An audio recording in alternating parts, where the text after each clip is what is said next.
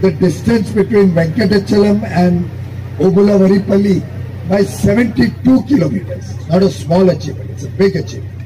So my compliments to Honorable Vice President Sir, under whose inspiration, whose vision and whose leadership we have been able to do this project and we pray and wish that you will continue to guide us and motivate us in the years to come. Thank you sir.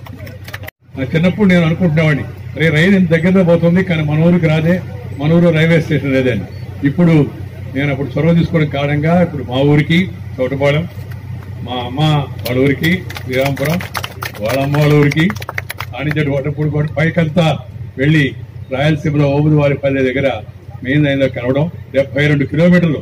ఇంతకుముందు ఓబులవారిపల్లె నుంచి రేణిగుంటకి వెళ్ళి రేణిగుంట నుంచి ఇక్కడికి రావాల్సి ఏదన్నా కష్టపడ్డ రావాలి.